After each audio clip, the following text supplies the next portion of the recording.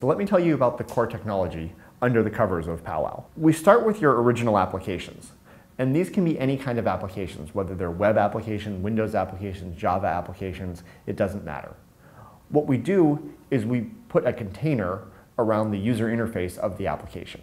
So what this means is we're taking the application and we're wrapping it in our technology. For example, on the web, our container includes a headless web browser. So we're running the full web application just like a user would, and then we're wrapping it in our container and uh, accessing it via our APIs. And we have different containers for different types of technologies. So for example, we have a web container that's based on a headless web browser we have a Windows container that's based on the Win32 APIs. And we have a Java container that's based on Java Swing. We also have a set of other containers for other technologies, such as Lotus Notes and SAP GUI.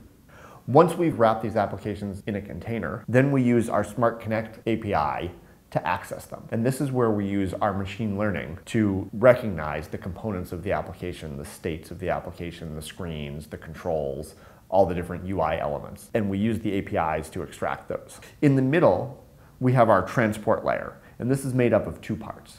The smart controller controls access to the application. So this does user management, it does authentication, it does push notification. It also maintains sessions so that users can move from device to device using smart roaming um, and still be connected into the same session. Above that is our smart proxy.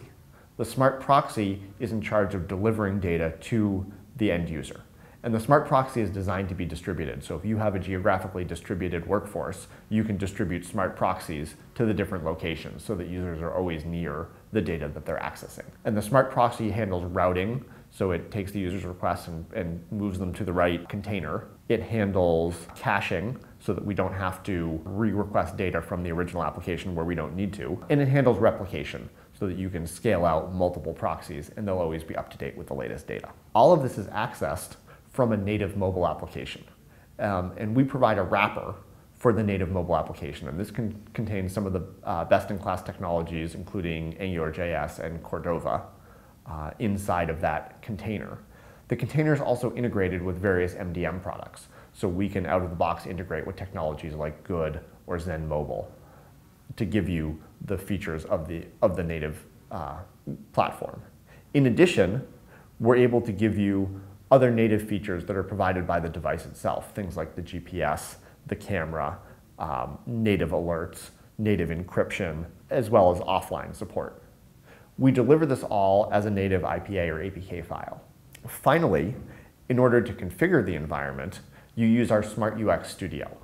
The Smart UX Studio is a WYSIWYG environment where you go and, and build the application, and it provides a set of configurations that can be deployed to the clients and to the containers in order to control how the deconstruct and transform process is done. What that means is that these components can be delivered to the application when the application is run. You don't need to publish a new version of the application every time you want to make an update. And that really allows this fast iteration cycle that we allow for building these applications, collecting feedback, gathering analytics, and then pushing out updates to users without users having to download a new version of the app every time you want to make a change.